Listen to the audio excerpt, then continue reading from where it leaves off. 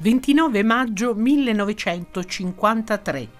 Edmund Hillary è il primo a scalare l'Everest. Britannico nato in Nuova Zelanda, accompagnato dallo sherpa locale Tenzing Norgay, raggiunse la vetta del monte che con i suoi 8.848,86 metri sul livello del mare è la cima più alta della Terra.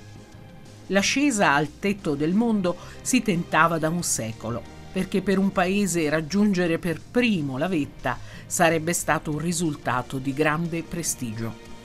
Fu il Regno Unito a dedicare maggiori risorse all'impresa, affrontata anche come una questione di interesse nazionale per motivi economici e geopolitici.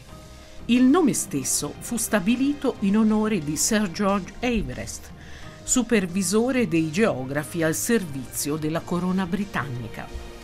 Di rilievo il tentativo del 1922, in cui venne utilizzata una novità tecnologica, il respiratore artificiale.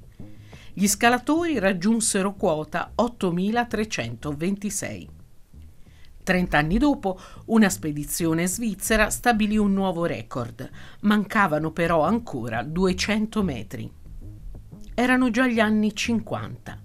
Hillary, che dalla famiglia originaria dello Yorkshire aveva ereditato la forza contadina e dal padre giornalista lo spirito da pioniere, il 29 maggio 1953 alle ore 11.30 si trovò ad essere l'uomo giusto nel posto giusto al momento giusto.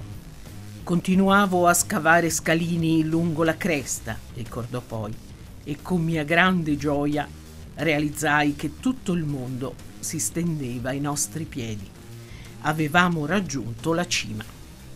Nel cinquantennio successivo si contano oltre 5.000 ascese sino alla vetta, alle quali hanno preso parte circa 3.000 alpinisti.